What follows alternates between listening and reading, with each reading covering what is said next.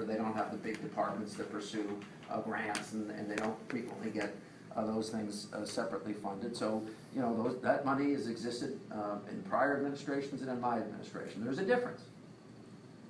And it goes to what you're asking. When I fund a project in a small town, I fund the cost of the project.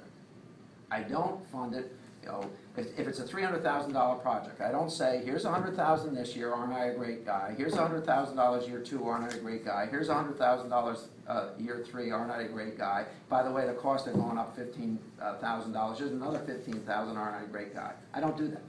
I fund programs that go to construction in the year that the grants are made.